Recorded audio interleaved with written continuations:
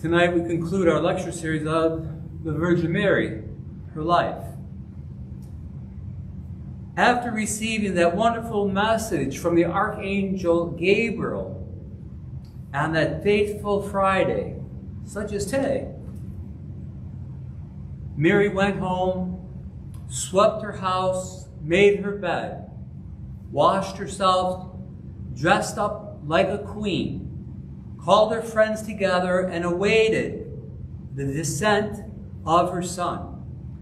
She gave her two dresses to two poor widows and showed to all the prize given her by the Archangel Gabriel, a palm branch from paradise.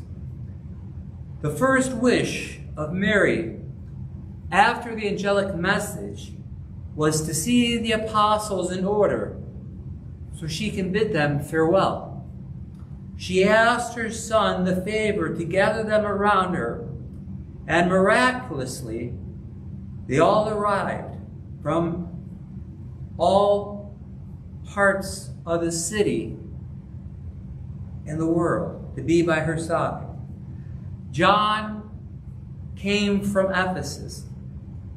Peter came from Rome.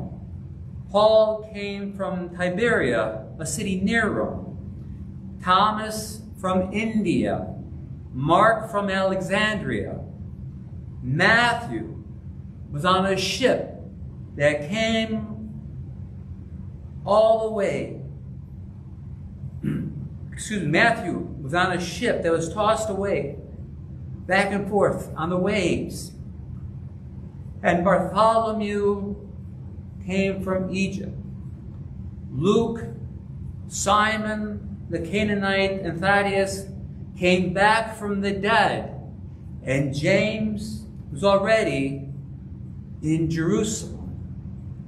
All were very happy to be with her, and each related to her where he was and what they were doing with their lives when they were picked up by a cloud and brought to her home. Now we remember a lot of this comes again from the Apocrypha. It was now Sunday. All the apostles and all the people gathered around her. And the Virgin lay on her bed, saying farewell. And as she said farewell, she was blessing everybody. Then she lifted up her hands and said, Be it unto me immediately, according to your word. And she gave her spirit into the hands of her son who came down in glory. Things began to move and voices and noises and sharp sounds were heard throughout the house.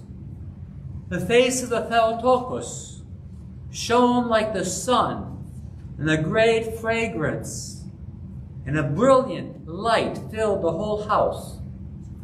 And then the chief among the apostles, who was Peter, and then John, Paul, and Thomas, came forward and embraced and kissed her sacred feet.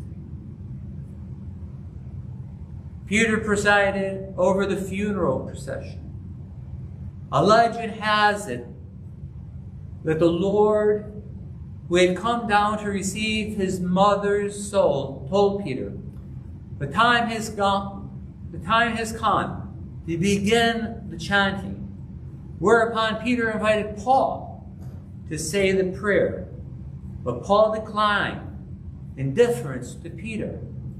But Peter asked Paul again.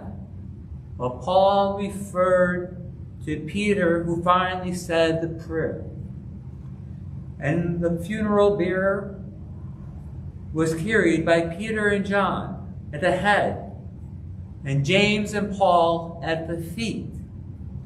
All the others were following and chanting the funeral hymns and censing. Thus was the body carried from Zion to Gethsemane for her burial. John was also carrying the palm branch, which was given to her from paradise. Peter and the rest of the apostles were chanting the Psalm 113 when Israel went forth from Egypt. And while the heavenly powers responded with Alleluia. The funeral procession, as they were making their way down the street, was disturbed by, the, by an impious Jew by the name of Jephonia. In other versions, he's mentioned as Athonius. He was a very strong man, and he rushed at the procession, trying to knock the bearer over and off the shoulders of the apostles. But out of nowhere, an invisible angel came, cut off his hands with a fiery sword, and suspended them in the air by the beard. At the sight of this miracle, all the Jews following the procession of the funeral of the Theotokos cried out, Indeed, the one born from you, O Theotokos, ever Virgin Mary, is the Son of God. And as for this man, Jophonia himself, at the call of Peter, he approached the bier to see the wonders of God. And standing behind the bier, he cried out, Holy Mother Mary, who bore Christ our God, have mercy on me. Then Peter said to him, In the name of the one who was born from her, let your hands be attached back to your body. And right away, his hands were reattached to his arms. And he believed and he glorified God. Again, according to legend, Jephonia became an evangelist and taking the branch from John's hand, went into the holy city of Jerusalem, where by placing the branch over the eyes of those who were spiritually blind, brought them within the Christian fold.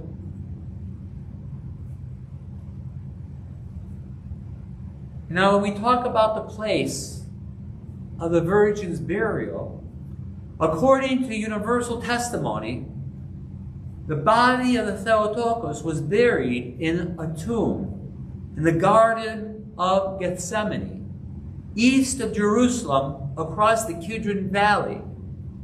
Saint Germanos writes that the body was placed in her tomb with a linen cloth upon the body, leaving her hands uncovered.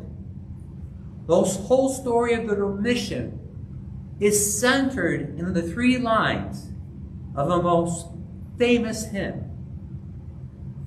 O apostles, gather here from the ends of the earth and bury my body in the village of Gethsemane. And you, my son, my God, receive my spirit. And now the question is, what happened to the body of the Theotokos? And there's three versions. What happened to the body which the apostles brought from Zion to Gethsemane for burial? There are three answers which vary between each one, yet all have a common point and that is an empty tomb. And we'll look at each one. The simplest is that of Saint Germanos.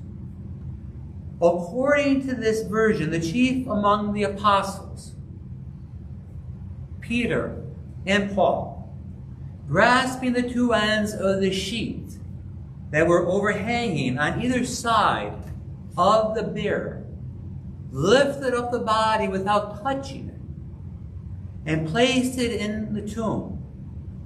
No sooner had they let it go, than the body was snatched up out of the sheet. Nobody could see the body being snatched because it was the invisible God who did it. And the sheep, like a speedy cloud, was speedily fluttering in the hands of the apostles with no body in it. What is peculiar, what is peculiar about this story is that it overlooks the absence of St. Thomas, the apostle. In the same way that Theodore the Studite and the great Synaxarion overlook it. Not only that, but the latter of the two has Thomas coming on a cloud to the other apostles and embracing the feet of the deceased Mary. The second version is more complicated as it comes out of the mouth of Juvenal. During the reign of Marcian, in the year 450 to 457, Queen Pulcheria, who had built the church of the Theotokos in Blachernae, in Constantinople, wanted to lay the relics of the Theotokos in it, taking advantage of the presence of Archbishop Juvenal of, Jeru Juvenal of Jerusalem at the Fourth Ecumenical Council of Chalcedon, which took place in 451 AD. She called him to the capital city because Chalcedon was not too far from Constantinople. And she called him to help her find the relics. And Juvenal related to her the following story. Holy Scripture does not relate anything about the death of the mother of God, Mary. However, from ancient and true tradition, we learn that at the different time of her passing, that the holy apostles were preaching in different parts of the world in a flash of time. And through the year, were transported to Jerusalem. And her God receiving body was buried in the Garden of Gethsemane, where the angelic presence and hymn chanted, chanting lasted for three days. After the third day, when the singing had stopped, one of the apostles, Thomas, who was left out of the burial, but came on the third day, wanted to see and reverence the body. So the apostles opened the tomb, but did not find the body of the Virgin Mary, but only the shrouds.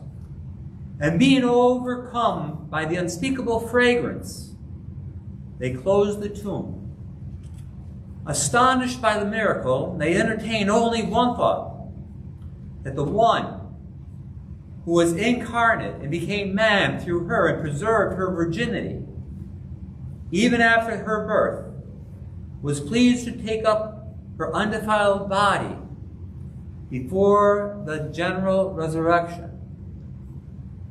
Present along with the apostles were the most honorable Timothy, the apostle and first bishop of Ephesus, of the Ephesians, and Dionysius, the Areopagite, as he himself testifies in his homilies about the blessed Dorotheus, who was also present.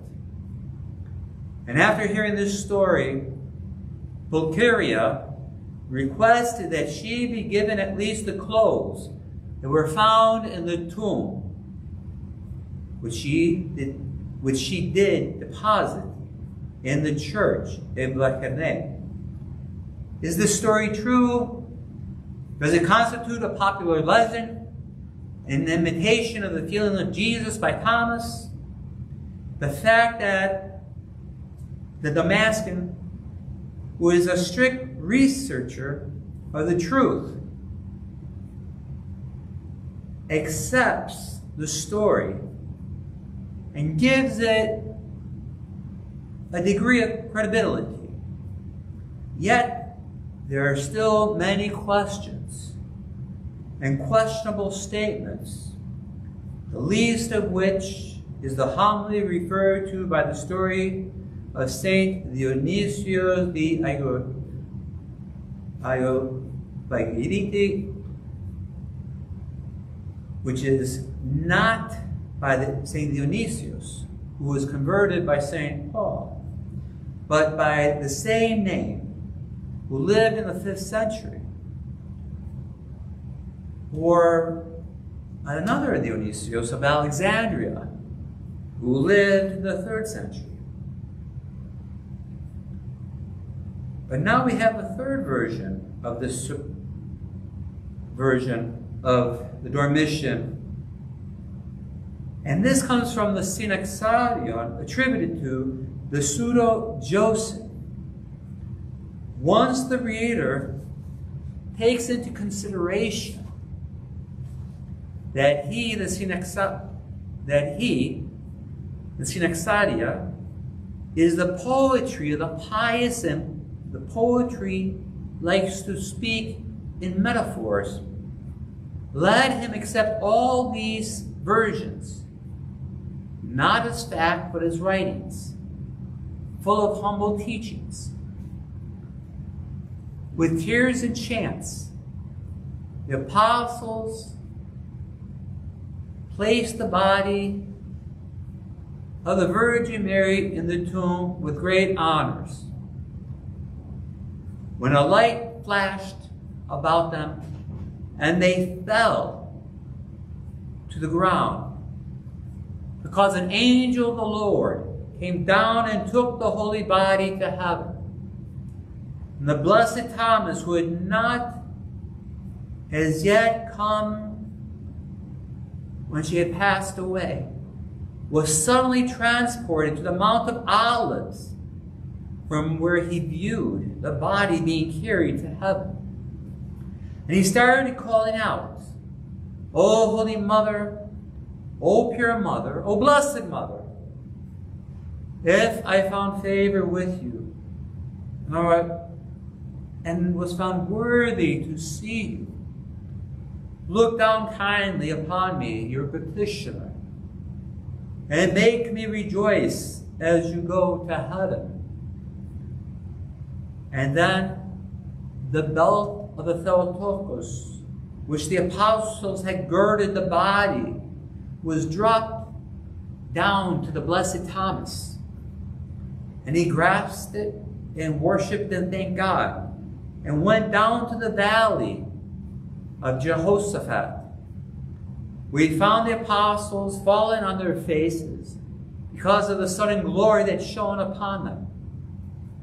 And Peter said to Thomas, Thomas, you've always been a roughneck. For this reason, you were not found worthy to be around when God came. You weren't worthy to be present with us for the funeral of the Mother, the Savior, because of your known unfaithfulness. Yes, said Thomas, beating his chest. I was always bad and faithless. I know it, and I beg of you to forgive me. And the apostles prayed for Thomas, and after the prayer he asked them where the body was. And they pointed to the tomb, but Thomas told them that the body was not there. Peter rebuffed him and told him that this was not the first time that he had shocked and shown lack of faith and so forth. Because we remember he's has done this before when our Lord rose from the dead at his resurrection. And Thomas insisted that the body was not there Whereupon the apostles in anger went to the tomb, opened it, saw it with their own eyes that the body was not there and begged Thomas for forgiveness. Then he related to them how he was celebrating the divine liturgy in India. And he was picked up by a cloud and was brought to the Mount of Olives. And how he saw the Virgin being carried up into heaven. And as she was being carried up, he prayed to her. He forgave them for the way they treated him.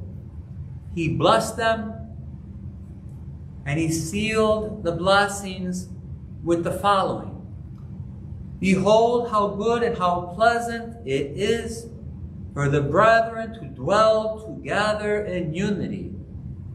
And that little saying is from Psalm 133. These are the stories concerning the body of Mary after her death. Are they true? The Roman Catholic Church made it a dogma in 1955 that the body of the Virgin Mary was assumed into heaven after death. The Orthodox Church does not accept this as a dogma, but rather as a pious belief that the Mother of God was indeed taken up to heaven to become the first fruits of the resurrection of the dead among the mortals, out of respect and reverence and recognition of her contribution to the work of salvation. We see in the icon of Dormition our Lord holding in his hands a baby. And that baby is the soul of the Virgin Mary. What we strongly believe about the role of the Virgin Mary in heaven is that she continues her exalted mission of praying to Almighty God for our salvation. That is her role in heaven. Her role is the same here on earth. It's her intercessions. There is no doubt that there has always been excesses in how people recognize the Mother of God, the Virgin Mary. They will continue to exist as long as there exists ignorance among the believers. Regardless of these excesses, however, we the Orthodox will always love, respect, and revere the Theotokos not as the Lord, but the servant of the Lord. Not as the king, but as the throne of the king. Not as the self-lighting sun, but as the moon which reflects the sun. Not as a fountain, but as the spigot. Not as the bank, but as the bridge that connects one side over the stream to the other side is the bridge. Not the one who saves, but the one who leads us to the Savior. An example, again, is the miracle of Cana in Galilee. She sees the groom and his party is in distress because they lack wine. And she hastens to their help. However, she does not become the center of the activity herself, but she turns to her son with the famous plea, they have no wine, and receives a remedy from her, from him. She does She does not tell the servants, I order you, but rather she says, do whatever he tells you to do. The key is she tells them whatever he tells you to do. Because salvation and glory belong to God alone. Next to our Lord Jesus Christ, the name Mary appears in most of our church hymns.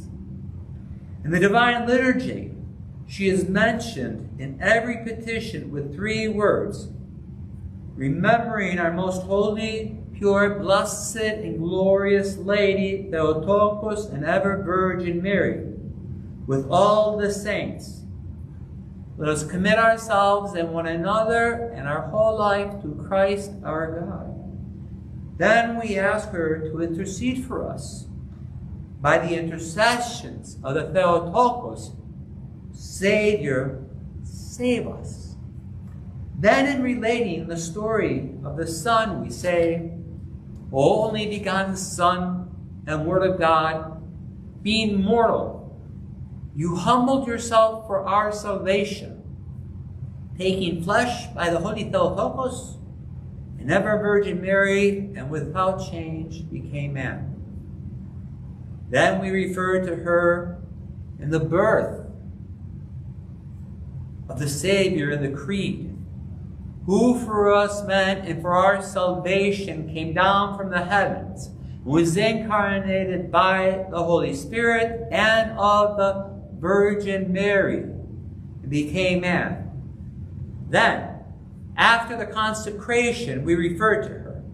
Again, we offer to you these re- re- we offer to you this reasonable worship for those departed in faith, forefathers, fathers, patriarchs, prophets, especially for our most holy, pure, blessed, and glorious Lady, the Theotokos, and ever Virgin Mary.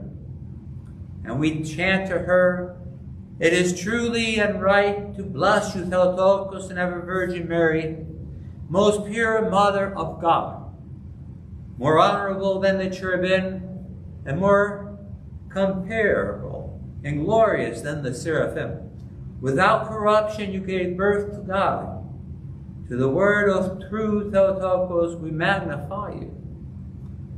And finally, in the, in the dismissal, again we mention Mary. When we say, Lord, you, O God, our hope, glory to you, may Christ our true God, and then we say, through the intercessions of his most pure and holy mother. And what can we say about the beautiful poem to the Theotokos, which we chant on the first five Fridays of Great and Holy Lent, known as the Salutations to the Virgin, or the Akathist hymn, which is dedicated to her entirely and what about the Paraklesis service, which we chant to her? You would really need volumes to write all the hymns that are dedicated to the Virgin Mary. But I will list just a few relating to her feast days. First is her birth on September 8th. Your nativity of Theotokos was brought joy, or has brought joy to all of the earth's habitats. Because from you you have shown forth the Son of righteousness, Christ Jesus our God. And having loosened the curse from us, he gave a blessing and abolished the power of death and bestowed heaven upon us. O eternal life. And then we have the presentation of the Lord on February 2nd. Rejoice, O full of grace, Virgin Theotokos, because from you has risen the only Son of justice, Christ our God lighting those in darkness. Rejoice as well, O elder righteous, having received in your arms the deliverer of our souls, who grants also resurrection to us. Then we have the Annunciation in March 25th. Today, the fountainhead of our salvation and the revelation of the mystery planned from eternity.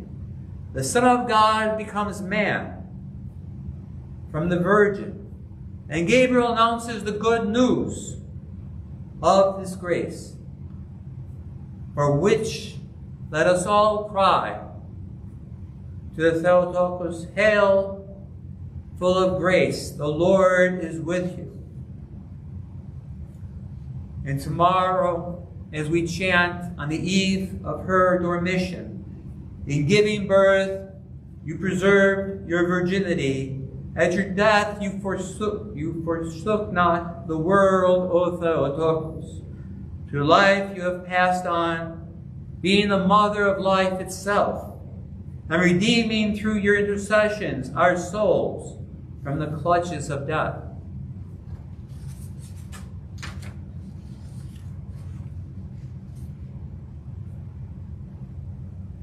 And we continue to chant the Theotokos, who is insistent and in her intercessions, is immovable hope in her protection, tomb and the state of death, could not retain, for being the mother of life, to the life he carried, over the one who dwelled in the womb, Heavenly Virgin. And at Christmas, we hear the Virgin bears today the, the one above all being, and the earth a humble cave to the approachable offers. Angels along with shepherds to God give glory. Wise men with a star make their journey. For unto us is born today a new child, the pre-eternal God. Today the Virgin comes onto the cave to give birth inevitably to the world, the Word pre-eternal. Hearing this, be of good cheer, O earth and its people. Him glorify with the angels and the shepherds, who will manifest a young child, the pre-eternal God. O protection of the Christians, most confident, mediation of the Creator, unchangeable. Despise not the pleading voices of those in sin, but hasten, O good one, to the help of all of us in faith who cry out to you. Speed up your intercessions and press on your supplication O Theotokos, who protects all those who honor you.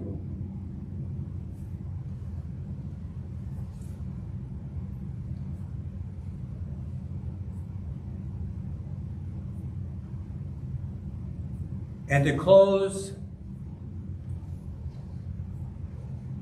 this lecture series,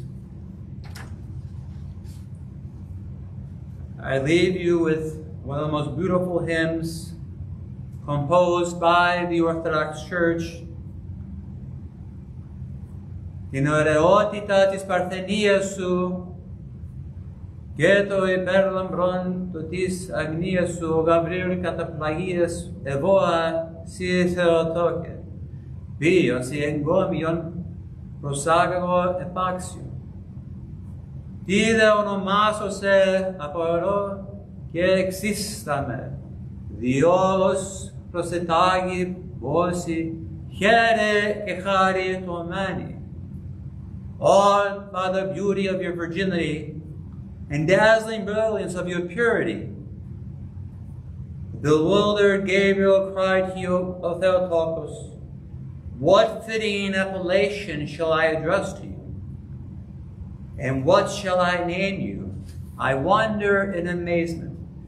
Therefore, as commanded. I cry out to you, rejoice, O full of grace. Amen. On behalf of myself and the parish of Panagia, I extend to you an early Chronia Pola to those who will celebrate their feast day this weekend. I extend you an invitation join us tomorrow evening with the Vespers at 6 o'clock and the Divine Liturgy on Sunday morning beginning at 8.30 with the Orthros followed by the Divine Liturgy.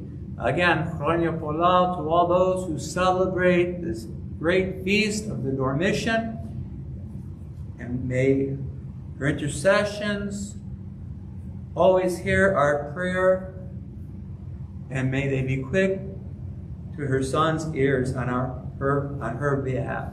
Amen.